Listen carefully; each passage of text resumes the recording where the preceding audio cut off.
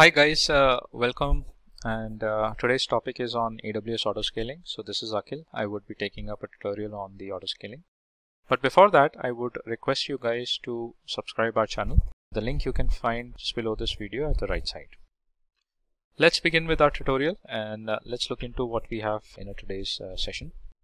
So I would be covering up uh, why we require AWS autoscaling, uh, what is AWS autoscaling, what are the benefits uh, of uh, using the scaling service, how this auto scaling works, the different scaling plans we have, uh, what is the difference between the snapshot and the AMI, what is the load balancer, and how many types of load balancers we have, and along with that, I would be covering up a real life demo on the AWS. Let's begin with why we require AWS auto scaling. Now, before AWS cloud scaling, there was a question in the mind of enterprises that uh, they were spending a lot of uh, money on the purchase of the infrastructure. If they have to set up some kind of a solution, so they have to purchase an infrastructure and a one time cost was required. So that was a burden for them in terms of uh, procuring a server, hardware, software, and then having a team of experts to manage all those infrastructure. So they used to think that no longer they require these resources. Uh, if there was a cost efficient solution for their project. That was the project manager used to think. Now, after the AWS cloud scaling that was introduced, uh, automatically the auto scaling maintains the application performance based on the user requirements at the lowest possible price. So what does the auto scaling does is uh, that whenever there is a scalability required, it manages it automatically. And hence the cost optimization became possible. Now, what is AWS autoscaling? Let's look into deep. So AWS autoscaling is a service uh, that helps users to monitor their applications and the servers and automatically adjust the capacity of uh, their infrastructure to maintain the steadiness. So they can increase the capacity, they can even decrease the capacity also for the cost optimization. And also predictable performance at the lowest possible cost. Now, what are the benefits of auto scaling? It gave the better fault tolerance applications. Uh, you can get the servers created and you can have a clone copy of the servers so that you don't have to deploy the applications again and again. Better cost management because uh, the scalability is decided by the AWS automatically based on some threshold parameters. It was a reliable uh, service and uh, whenever the scaling is created or initiated, you can get the notifications uh, onto your mail IDs or to your cell phones. Uh, scalability, as I mentioned, uh, is always there in the auto scaling. It can scale up, it can scale down as well. And it has the flexibility, the flexibility in terms of whenever you want to schedule it, if you want to stop it, if you want to keep the size of the servers at a fixed number, uh, you can always make the changes on the fly. And the better availability. Now, with the use of the auto scaling, we come around with uh, the terminology called snapshot and the AMI. Let's look into the difference between the snapshots and the AMI. Uh, snapshots versus AMI. Uh, so, in a company, there was one of the employee that was facing an issue with launching the virtual machines. So, he asked his colleague a question Is it possible to launch multiple virtual machines with a minimum amount of time? Because it takes a lot of time in terms of creating the virtual machines. The other colleague said that yes, it is possible to launch multiple EC2 instance and that can be done at a lesser time and with the same configuration. And this can be done either you use a snapshot or the AMI on the AWS.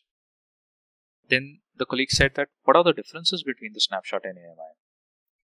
Uh, let's look into the difference now. Uh, the snapshots basically kind of a backup of a single EBS volume, which is just like a virtual hard drive that is attached to the EC2 instance.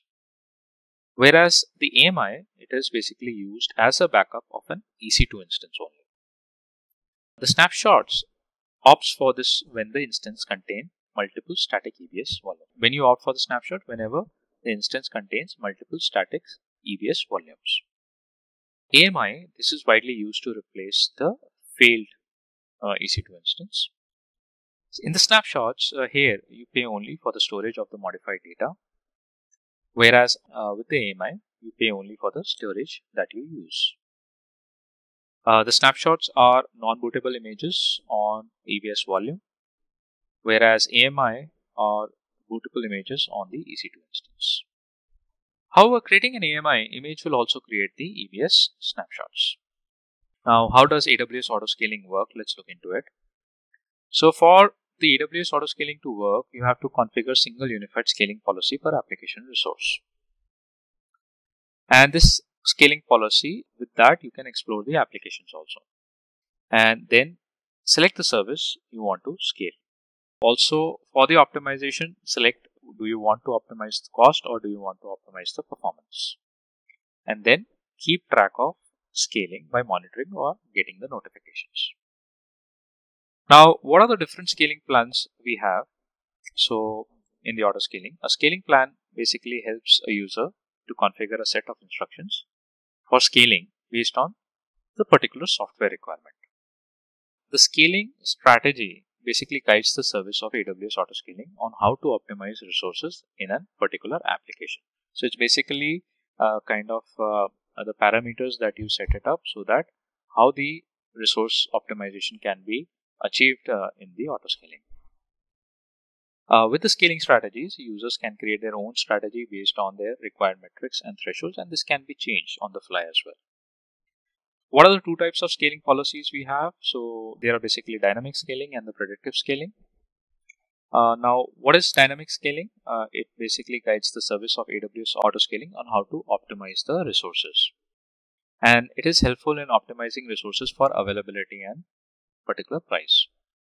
Now, with scaling strategies, users can create their plan based on the required metrics and thresholds. So a metric can be like, let's say a network in, network out, or it can be a CPU utilization, memory utilization likewise.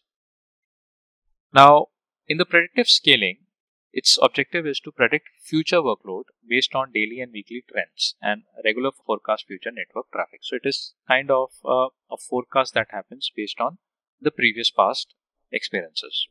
It uses a machine learning technique for analyzing that network traffic and this scaling is like how weather forecast works, right? It provides schedule scaling actions to ensure the resource capacity is available for application requirement. Now, with the auto scaling, you would need the load balancers also because if there are multiple instances that are created, then you would need a load balancer to distribute uh, the load to those instances. So let's understand what do we mean by a load balancer. A load balancer basically acts as a reverse proxy and it is responsible for distributing the network or the application traffic across multiple servers. With the help of a load balancer, you can achieve a reliability, you can achieve a fault tolerance of an application. That is basically it increases the fault tolerance and the reliability.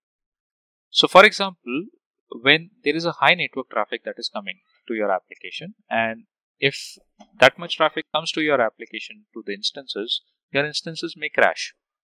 So how you can avoid that situation? So you need to manage the network traffic that is coming to your instances and that can be done with the load balancer. So thanks to the AWS load balancers which helps in distributing network traffic across backend servers in a way that it increases performance of an application. Here in the image you can see the traffic coming from a different resources landing onto the EC2 instance and the load balancer is actually distributing that traffic to all the three instances, hence managing the network traffic quite properly. Now, what are the types of load balancers we have? Uh, there are three types of load balancers uh, on the AWS. One is the classic load balancer, second is the application load balancer, and the third one is the network load balancer. Let's look into what we have in the classic load balancer. So the classic load balancer is the most basic form of load balancing and uh, we call it as a primitive load balancer also and it, it is widely used for the EC2 instances. It is based on the IP address and the TCP port and it routes network traffic between end users as well as in between the backend servers. And uh, it does not support host-based routing and it results in low efficiency of resources. Let's look into what we have in the application load balancer. Uh, this is one of the advanced forms of load balancing. It performs a task on the application level in the OSI model uh, it is used when there are HTTP and HTTPS traffic routing is required. And also it supports the host-based and path-based routing and performs well with the microservices or the backend applications. The network load balancer performs the task at layer 4 of the connection level in the OSI model.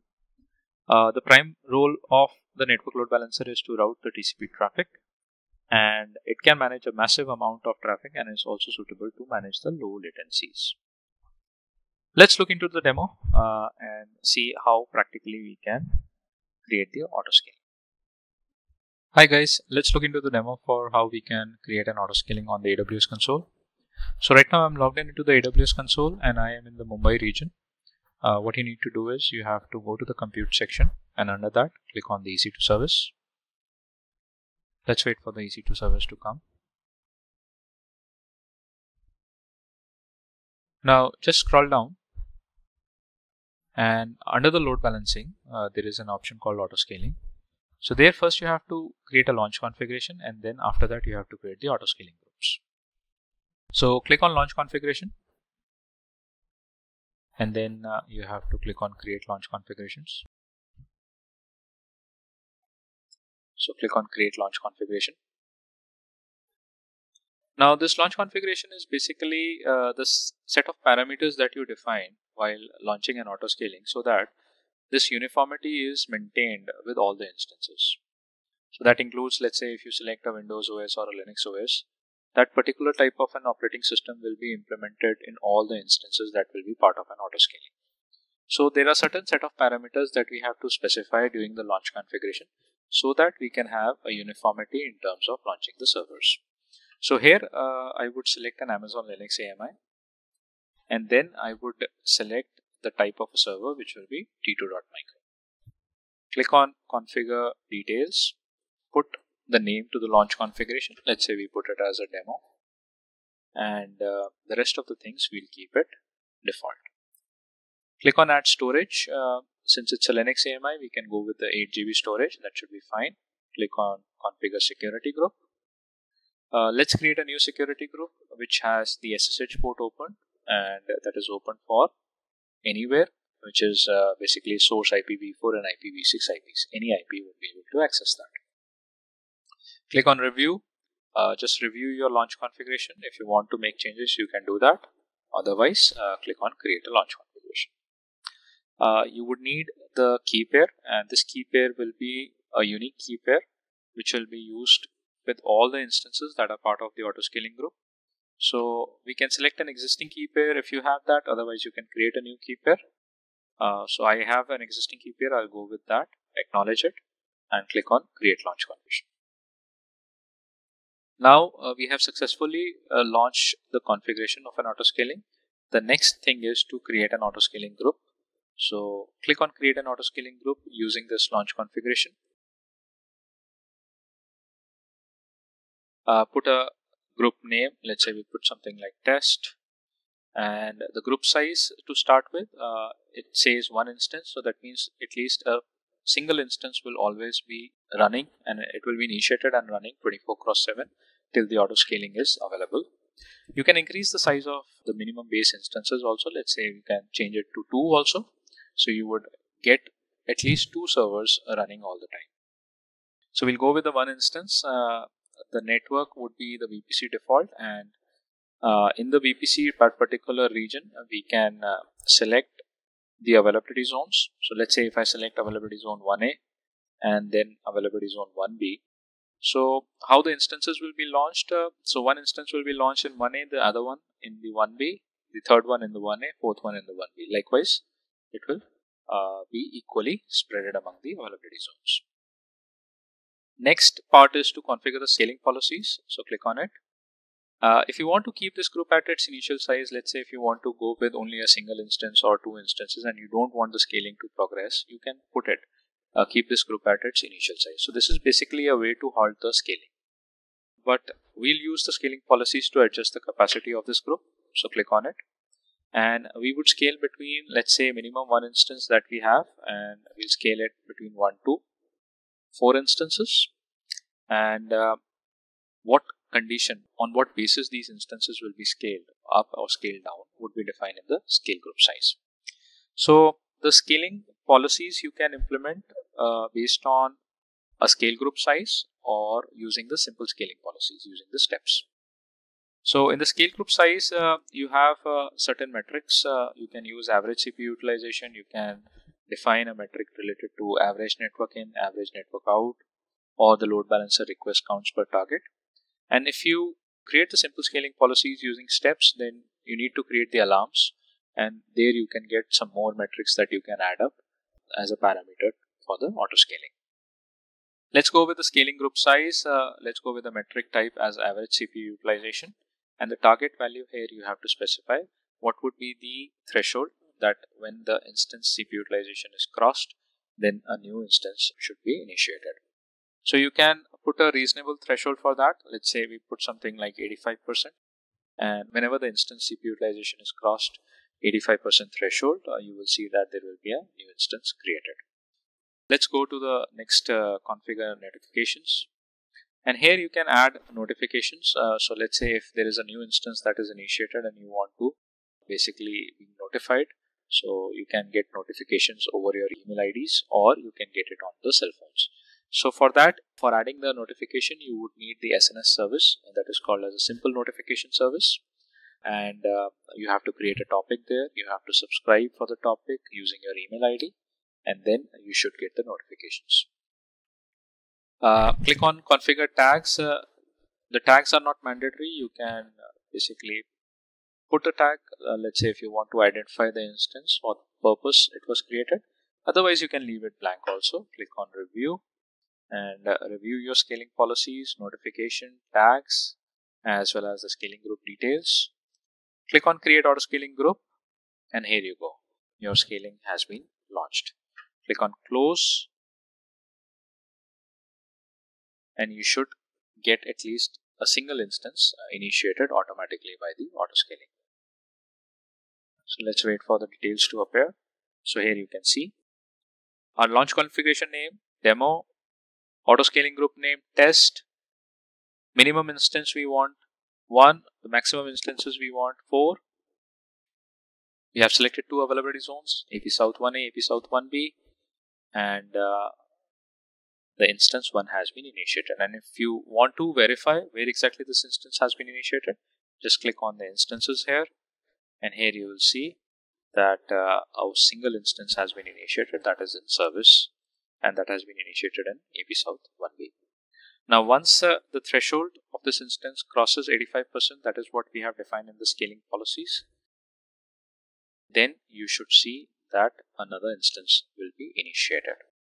So likewise, uh, this is basically uh, I have created steps to initiate a scaling policy that means to increase the number of servers whenever the threshold crosses. Likewise, here itself you can add another policy to scale down the resources in case if the CPU utilization goes to a normal value. Fine guys, that's it from us.